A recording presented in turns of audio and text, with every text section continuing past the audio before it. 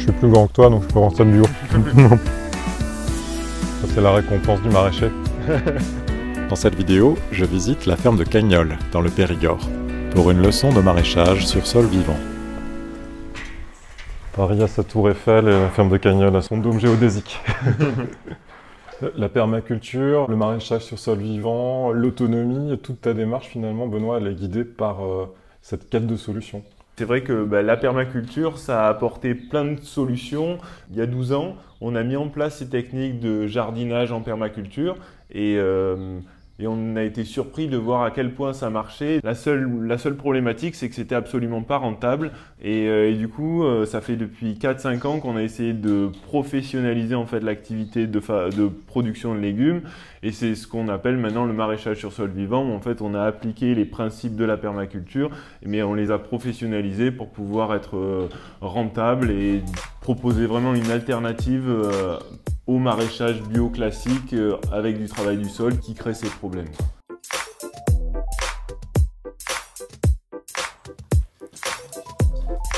Je vais sortir à peu près 10 kg d'oignons par mètre carré.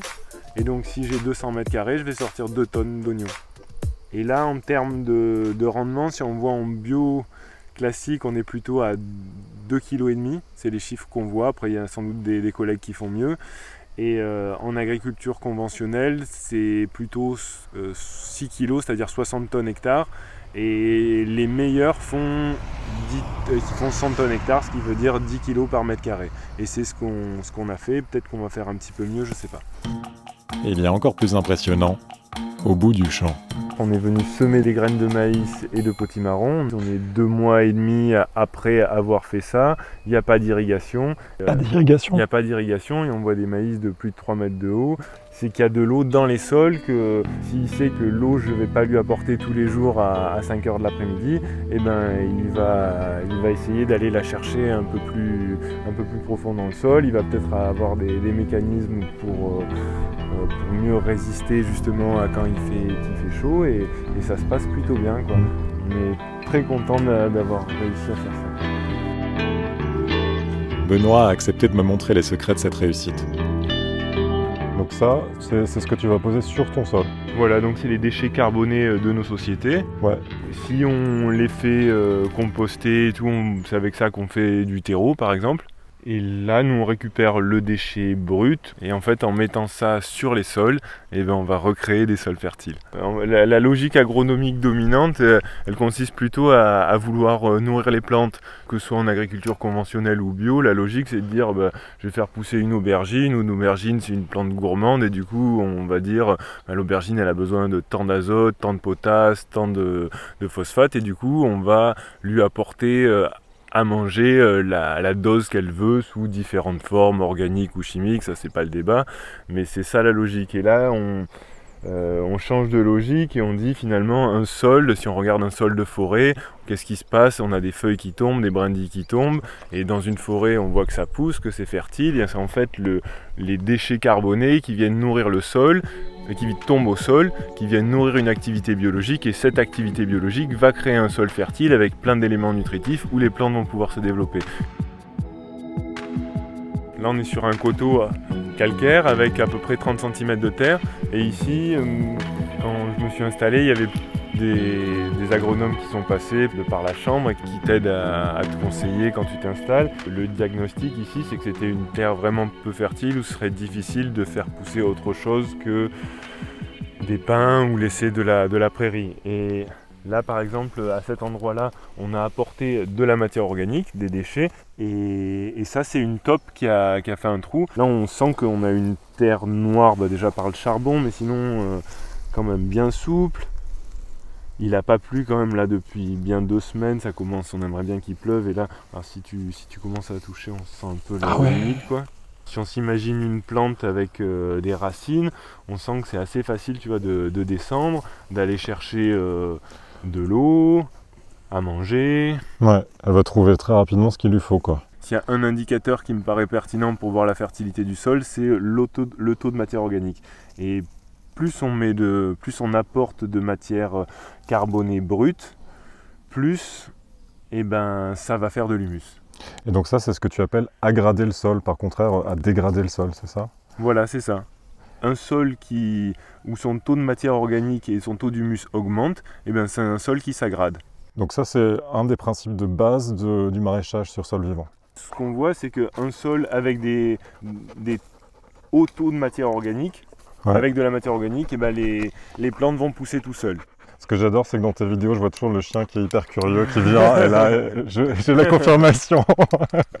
T'aimes bien regarder ce qui se passe dans les vidéos, toi? Comment il s'appelle? Elle s'appelle Pumba. Lors de son installation, Benoît a fait des analyses de sol. 1,4% de matière organique. Il a refait les mêmes analyses il y a un mois. 8,8%. Il a stocké 7 points de matière organique. Il faut récolter en permanence. Aujourd'hui, j'accompagne Carmen, Tout ce qui est euh, concombre et courgettes, ça grossit non-stop. Ouais. Donc si t'es pas là à ramasser, bah, tu vends des trucs euh, comme ça et personne n'en veut. Donc on va y aller. au programme du jour, les poivrons, les courgettes et les tomates. Allez. Euh, Elles ont toutes leurs couleurs. Et du coup, euh, elles sont mûres à... À différents moments. Bah oui, ouais. Et ça, c'est rigolo. euh, parce que c'est de la red zebra, on l'a appelée comme ça. Ouais, c'est trop beau. En fait, c'est- elle est apparue ici, tiens, on fait nos graines sur les tomates. Et du coup, on avait de la green zebra et une autre variété de tomates rouges. Elles se sont hybridées. Et du coup, ça fait une tomate rouge euh, rayée. euh. Elle est bonne, et elle est bien foncée. Et Benoît tient à me montrer un autre grand principe du maraîchage sur sol vivant. Eh ben, on va toujours avoir euh, une plante ou quelque chose qui couvre notre sol pour protéger notre sol des rayons UV du, du soleil. Alors je vois que c'est couvert par de la matière organique ici, ou par des bâches. Voilà, avec la bâche, ça devient très facile euh, de couvrir et ça, c'est vraiment euh, l'outil qui nous a permis de faire une agriculture entre guillemets un petit peu euh, euh, calquée sur euh, les modèles de jardinage en permaculture, c'est-à-dire une agriculture qui ne travaille plus les sols, qui nourrit le sol avec du carbone, mais ça à une beaucoup plus grande échelle, c'est-à-dire à l'échelle maraîchère, une échelle où on peut gagner sa vie en vendant des légumes. Mais est-ce que c'est pas tabou d'utiliser une bâche plastique quand on est en maraîchage sur sol vivant, bio? Ça peut, ça peut être un sujet polémique, mais il faut bien comprendre pourquoi on utilise la bâche et qu'est-ce qu'on ferait si, si on n'utilisait pas les bâches? Ouais. Le fait qu'il y ait la bâche sur le sol, ça, il n'y a pas de lumière qui arrive sur le sol, donc il n'y a aucune plante qui pousse là. Mm. Et quand je vais enlever ma bâche, eh ben, ce sera euh, une surface totalement propre où je vais pouvoir planter mes plantes. Et si j'avais pas mis la bâche, eh ben, pour désherber, il va falloir faire plusieurs passages d'outils de travail du sol avec du tracteur qui fonctionne avec de l'énergie fossile. Et au final, euh, une bâche qui a consommé du pétrole ou euh, tout le pétrole que je vais mettre dans mon motoculteur, et ben là, le, le bilan énergétique, il est sans doute meilleur avec ma bâche. Vu comme ça, Surtout Ça a que, du sens. que- que la, que la bâche, je vais pouvoir euh, l'utiliser euh, plusieurs années. Quoi. Et là, je suis assez content parce que finalement, on a des betteraves. Là, on voit qu'il y, a des- il y a des calibres qui commencent à être corrects, d'autres qui sont un peu ouais, là par exemple, mais qui vont, mais qui vont grossir.